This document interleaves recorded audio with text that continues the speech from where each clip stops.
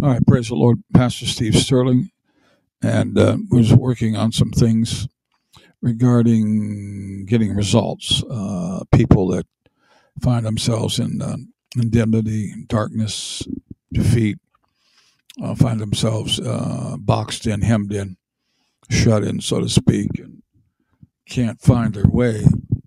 Um, the end from the beginning and that type of thing. We just want to galvanize and clarify some things through the scripture. I think that might help assist and aid one to uh, receive remedial results immediately. In Hebrews chapter 11, verse 1, it says, Now faith is the assurance of things hoped for, the confirmation of things not seen. In the King James, says, "Now faith is the substance of things hoped for, and the and the evidence of things not seen." So we have assurance, and we have the confirmation. Faith brings assurance, and assurance is substance. And we'll point out a little bit about that in just a few minutes regarding faith and how it relates to your necessity or need or circumstance or situation in life. Hebrews 11 6. For without faith, it's impossible to please Him. Uh, for he who comes to God must believe that He is, and that He's a rewarder of those who seek Him. And the King James it says, diligently seek Him. So we must give belief to two things. One that god exists and uh, more clear than our adversity or circumstance or situation that we're facing.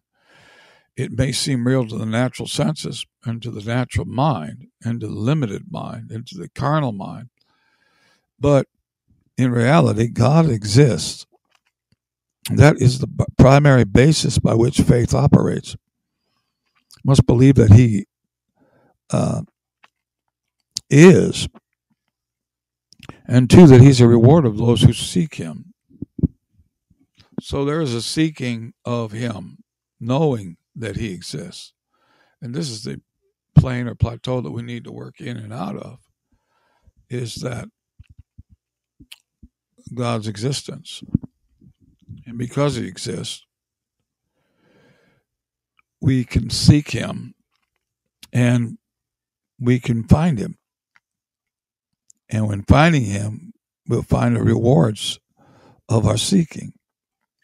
As far as our spirituality is put to work here, when nothing else is succeeding and nothing is making headway and nothing is uh, consistently, confidently matter of factly stating your status, you can go to faith. Proverbs chapter 3, verse 5 and 6 Trust in the Lord with all your heart. Do not lean on your own understanding. So, when you talk about heart here, we're talking about spiritual heart. And um, it says, do not lean on your own understanding, your own reasoning, your own rationale. But in all your ways, acknowledge Him. In all your ways, acknowledge Him, and He will straighten your paths. Thank you, Lord. He can straighten things out in a hurry. We simply have to acknowledge Him and trust Him and not give way to natural reasoning or natural thought.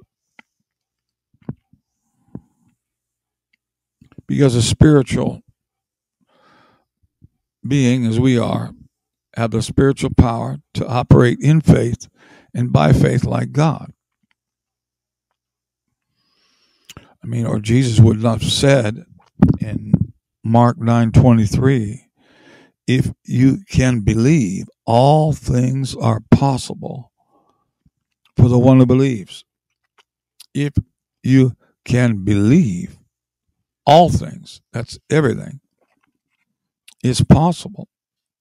So just because you feel like you're counted out, knocked out, or you're shut out, or you're um, hemmed in, or locked in, or locked up in in adverse condition and situation, doesn't mean there's not a way through it I'm not a way out of it. Hallelujah! Got good news for you and it's it's not by something you can muster up stir up you can make happen on your own. It's something that's already existing. And the scripture tells us that God gives every man a measure of faith. So we all have a measure. In Ephesians chapter 2, verse 8 and 9, it says, By grace you have been saved through faith. By grace you have been saved through faith. Faith procured your salvation. And salvation came because of grace. You had nothing to do with it. God had everything to do with it. God's grace, God's riches at Christ's expense, came to you when you were down and out and saved you. And it's the same way as that faith operates in every other realm, in other every other level of your life. This is not of your own doing, it is a gift of God, not a result of works, so that one may boast. Say there's no boasting in this. It's just God's effect,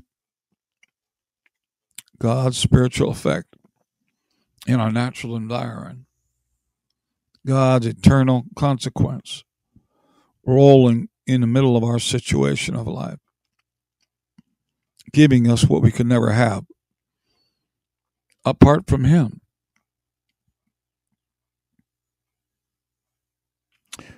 Matthew um, 15 and 28.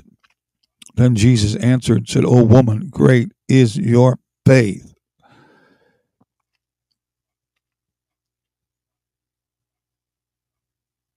Be it done to you as you desire. Be it done to you as you desire. And her daughter was healed immediately. And there's the key be it done to you as you desire. What is it that you desire? What is it that you're looking for? What is it that you're longing for? What is it that you're apprehending?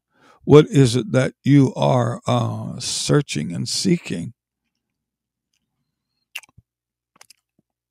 it will be done for you as you desire. And her daughter was healed immediately. It can happen fast, friends. It can happen that quick. Doesn't take a long time for faith to work. And again, God's given everybody a measure of faith. Measures a little bit. But you don't need much. Matthew 17 20.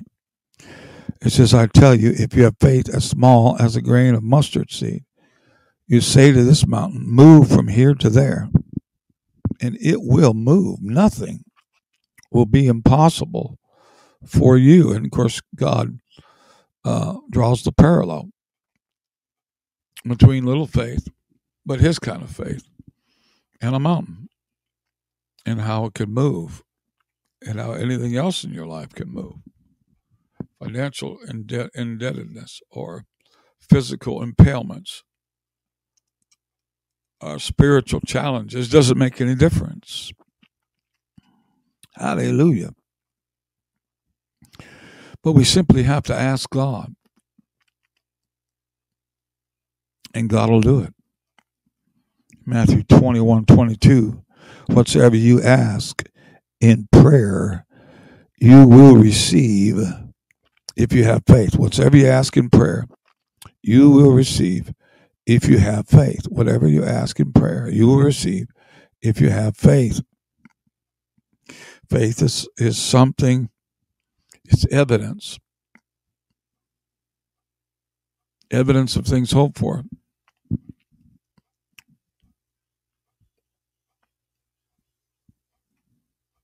It's the confidence and knowing that what you're praying for will come to pass.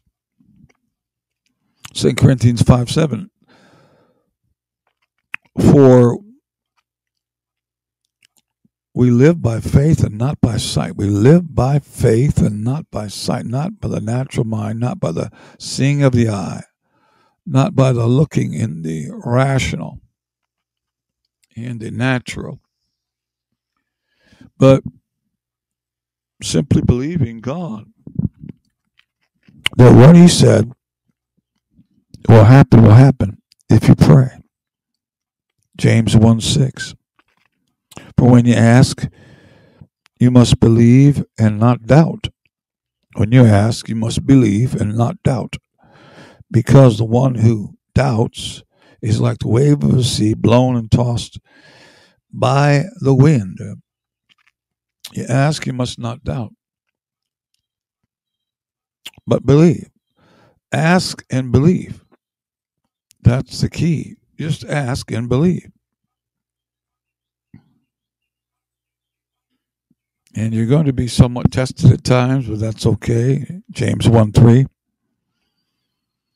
Therefore, you know that the testing of your faith produces perseverance. There'll be tests at times, but don't let the test become a turmoil or a trial or a tragedy. But just know that you're moving through the terse and adverse, and the situation is becoming better and better. And the problem is becoming bleaker and bleaker. Hallelujah. Amen.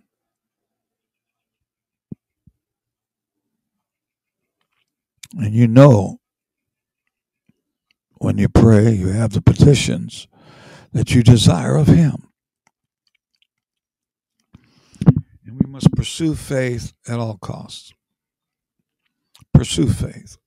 1 Timothy 6:11 But you men of God flee from all this and pursue righteousness, godliness, faith. See, faith, pursue faith, love, endurance, and gentleness. We're called on to pursue faith.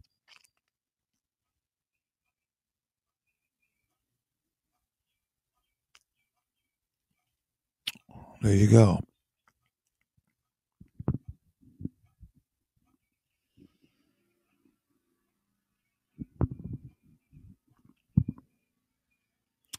You know, Romans 117 says the righteous will live by faith. Faith is a lifestyle. And faith brings supernatural manifestation, supernatural substance into the material. It will create for you whatever it is that you're looking for.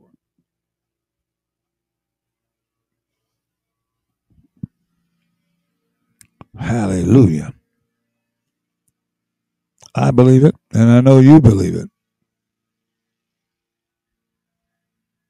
And when you ask in faith, believe you won't be disappointed. Romans 10 11, as the scripture says, anyone who believes in him will never be disappointed or never be put to shame. And when you walk in that faith, you take a hold of eternal life. Eternal life brings supernatural residuals. 1 Timothy 6:12 Fight the good fight of faith, take a hold of eternal life for which you were called when you made your good confession in the presence of many witnesses. Faith works eternal dividends. Amen.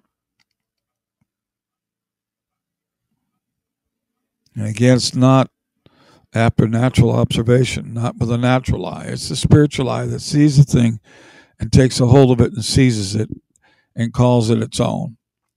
And then you have ownership and you can have whatever it is that you pray for. John 20, 29. Then Jesus said to him, um,